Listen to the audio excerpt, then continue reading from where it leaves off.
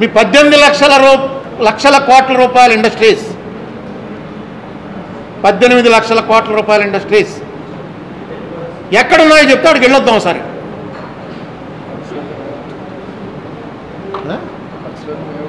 ఖర్చులన్నీ పెట్టు. చూడండి మా ఫ్రెండ్ ఒకటి హెలికాప్టర్ ఉంది. తెప్పిస్తాను. నేనే పెట్టుకుంటా ఖర్చు. మీరు ఎందుకంటే బిజీ మ్యాను. అవన్నీ తిరగడానికి వారం రోజులు పడుతుంది అనుకోవచ్చు. మీరు లిస్టు తయారు చేసి పట్టరండి. ఒక రోజు పొద్దున్న పది గంటలకు స్టార్ట్ అయ్యి సాయంత్రం హెలికాప్టర్ టైం పూర్తి అయ్యే టైంకి వెనక్కి వచ్చేద్దాం?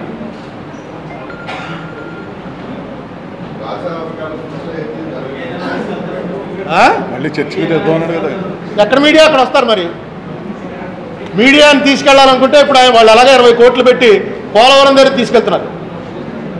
ఒక seventy two aircraft book చేయండి గవర్నమెంట్ తరఫున. మొత్తం రాజమండ్రి మీడియా అందరినీ తీసుకెళ్దాం. సెవెంటీ పెద్ద ఎక్కువ అవదండి ఒక పది లక్షల రూపాయలు అవుద్ది. నాకు విమానం వాడు ఫ్రెండ్ లేడు లేకపోతే నేను విమానం అడుగుతున్నాను నాకు హెలికాప్టర్లు అద్దెకి ఇచ్చేవాడు ఒకటి తెలుసు. వాటితో ఏదో ఇంజిన్ పెట్రోల్ వేయించుకుంటాం ఏమన్నారా అంటే ఇస్తాడేమో అని ఒక ఆశ ఎందుకంటే ఇది చాలా పెద్ద ఇష్యూ కాబట్టి. లేదు దానికి అయ్యే రెంట్ పెట్టుకోగలను. ఏరోప్లేన్ పది లక్షల రూపాయలు నేను పెట్టలేను. మీరు పెట్టగలరు ఎందుకంటే ఒకేసారి మీకు పబ్లిసిటీ ఇరవై కోట్ల రూపాయలు ఖర్చు పెట్టి జనాలు తీసుకెళ్ళి పోలవరం చూపించి చూడండి ఎంత గొప్ప కార్యక్రమం చేస్తున్నాము అని అన్ని ప్రాంతాల నుంచి బస్సులు వేసి తోల్తి తీసుకెళ్తున్నారు. మీకు ఉంది మీ గవర్నమెంట్ ప్రోగ్రామ్ అది. అమరావతి కూడా తీసుకెళ్తారండి. అమరావతి కూడా తీసుకెళ్తారు ఇప్పుడు అమరావతి తీసుకెళ్ళడం మొదలెడతారు ఎందుకు ఒకసారి అందరు జనం అందరూ ఎందుకు? మిమ్మల్ని రోజు మీ క్రిటిక్ నేను మీ క్రిటిక్ వచ్చి ఒప్పేసుకున్నాడు అనుకోండి. నిజమేనండి నేను చాలా పొరపాటు అయిపోయింది చాలా బాగా చేస్తున్నాడని. సరే నన్ను కొనేసారు మీరు. ఇవన్నీ ఆల్రెడీ పెట్టేస్తారు. పెట్టేస్తున్నారు. మామూలుగా దీంట్లో నేను వెళ్ళి చంద్రబాబు నాయుడు గారిని కలిసి రాగానే పెట్టేశారు. అమ్ముడు పోయాడు వీడు కొనేసాడు చంద్రబాబు అని. పర్లేదు నాకేం పర్లేదు. రండి వెళ్దాం మీడియా అంతా తీస్తారు చూద్దాం. ఇంత డబ్బు ఖర్చు పెట్టేందుకు ఓ పాతి లక్షల లోపల ఈ మొత్తం రాజమండ్రి ప్రశ్న అందరినీ తీసుకుని హ్యాపీగా మొత్తం తిరిగి వచ్చేద్దాం. సాయంకాలానికి అయిపోతుంది. మీడియాలో ఎక్కువ మంది మీకు అనుకూలంగా ఉన్నారు. మరి మీడియా ముందు ఎలా పెడతామండి? వాళ్ళు ఇష్టం వచ్చినట్టు అనడానికి లేదు మీకే అనుకూలం ఎక్కువ ఉంది. ఏదో ఒకటి రెండు ఛానల్స్ వ్యతిరేకంగా రాసినా నేను మాత్రం ఖచ్చితంగా చెప్పేస్తాను.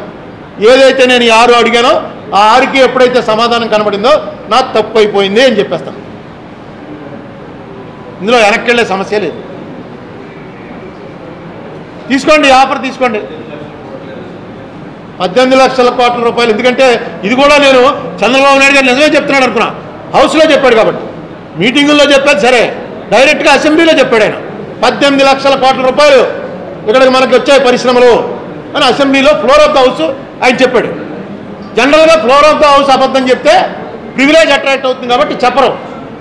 నేను నమ్మాను.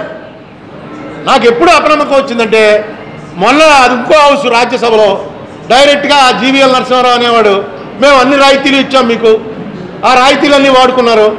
అంటుంటే సుజనా చౌదరి గారు సీఎం రమేష్ గారు లేచి ఒక్క పరిశ్రమ రాలేదండి. ఒక్క పరిశ్రమ రాలేదని గట్టి గట్టి కేకలేశారు నేను ఆశ్చర్యపోయాను. ఇదేంటి బా? పద్దెనిమిది లక్షల కోట్ల రూపాయలు పరిశ్రమలు వచ్చాయని మీరే చెప్తూ హౌస్లో ఒక్క పరిశ్రమ రాలేదంటే ఇంత దారుణం ఏంటని అప్పుడు నాకు అనుమానం వచ్చింది. ఏదో పద్దెనిమిది లక్షలు వస్తున్నాయి. అవి అక్కడ ఇటే భువనేశ్వర్ దాకా వచ్చాయి అటే కాజీపేట దాకా వచ్చాయి. ఇంకొచ్చేస్తున్నాయని చెప్పి ఏదో చేయొచ్చు. కానీ ఒక్కటి అసలు రాలేదనేటప్పటికి నాకు అనుమానం వచ్చింది. దాని మీద ఎవరైనా అడుగుతున్నా? ఎక్కడెక్కడ ఉన్నాయో? చూపించండి.